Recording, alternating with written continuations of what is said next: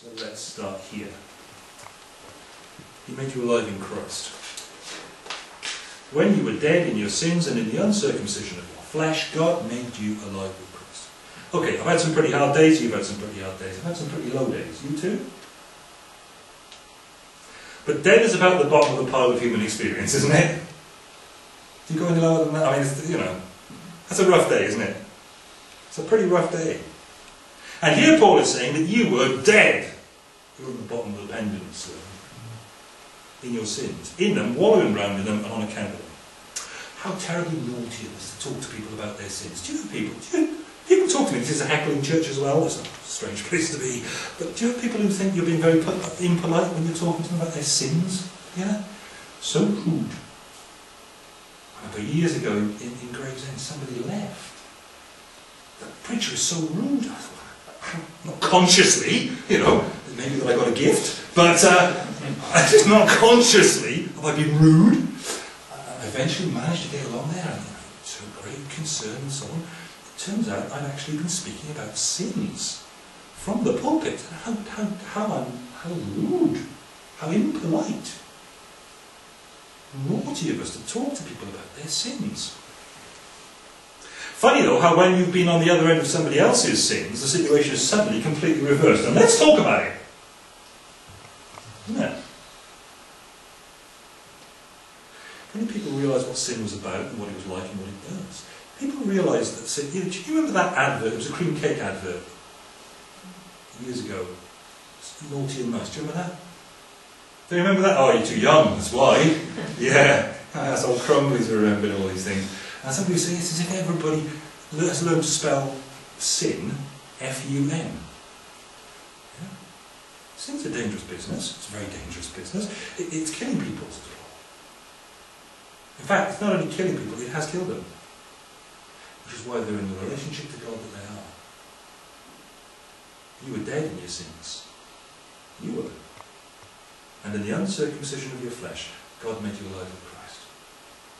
Sad day, actually, for, for, for continuing Christians, sad day for uh, mature Christians, when we forget quite the seriousness of our way of life in sin, and how serious sin is, and what it did and where it put us. Bad day. Paul's talking to these living people in terms that assert they were already dead in their sins when God made them alive in Christ. And that's we can't get away from that one if we're to retain our gratitude and therefore our strength and security in Christ. People saw their sin as their killer, and that was their darling. Well, you know, you can tell me, would this be a, a better world or a worse one? It would be a better one. Paul's setting out the score then for these Colossian Christians so they can see the extent to which they should be grateful to the Lord Jesus Christ, and the first step to get them to embrace an accurate idea of what sin actually is. You were dead in your sins. You, being dead in your sins, were made alive in Christ. You were in an ongoing state of deadness. And while you were in that ongoing state of deadness, on account of your very own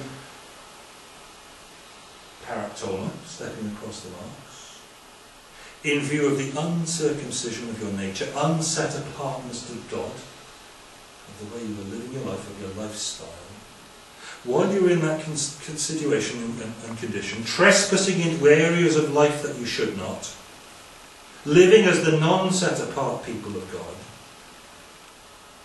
well, that was the death of you. But while you were there, God stepped into your circumstances, stepped into your situation.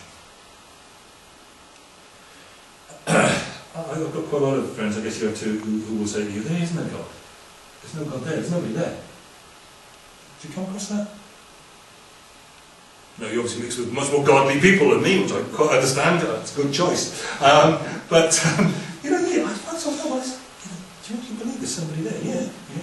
What happens in the mart on a Monday? Are you serious? Yeah, I'm absolutely serious about it. There is, there's somebody there. And they're saying, oh, God, there's nobody there. Why is there nobody there for them? Because they're in this state and condition where I was. Yeah? They're in this state and condition where their nature and their actions have killed off their relationship to God. So as far as God is concerned, they're as unresponsive as a body laid out on the side of the morgue. They don't encounter Him because they're dead to him.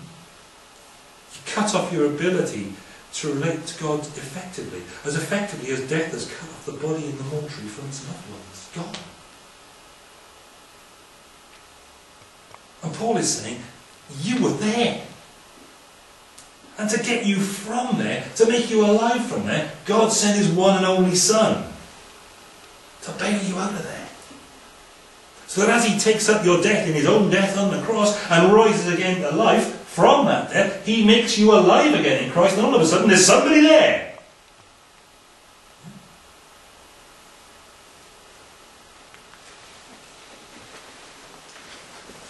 There's no more profound experience of separation than Paul's talking about.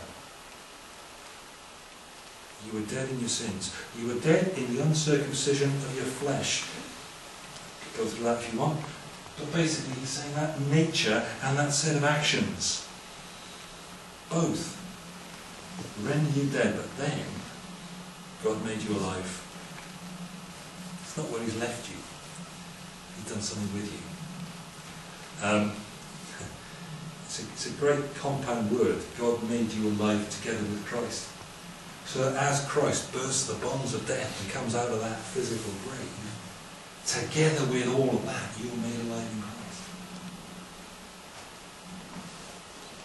He did it in Christ. And he did it by a particular means.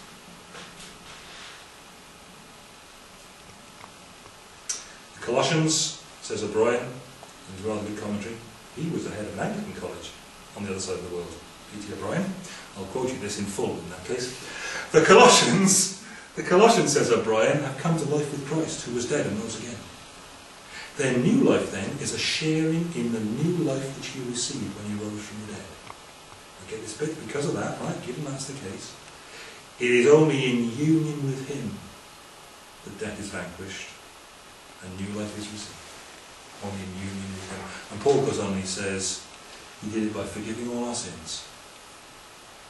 It's all grace. And the way the Greek works there in that sentence is that it says this, having forgiven all our sin, he made us alive with Christ. Having forgiven all our sins. The having forgiven all our sins is how he does it.